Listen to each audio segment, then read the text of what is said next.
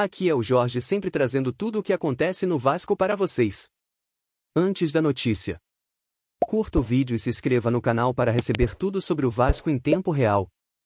Lucas Braga é atacante de lado, mas nessa temporada não vem sendo titular do Santos.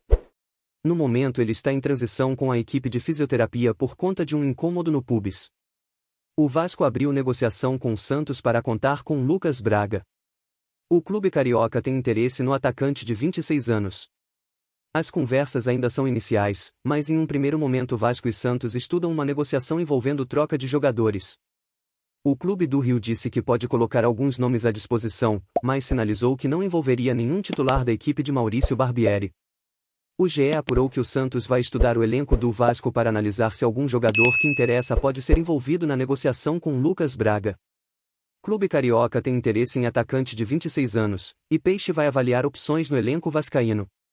Ei, torcedor, se inscreva no canal para receber os melhores vídeos sobre o Vasco todos os dias. Logo logo eu volto trazendo mais notícias em primeira mão.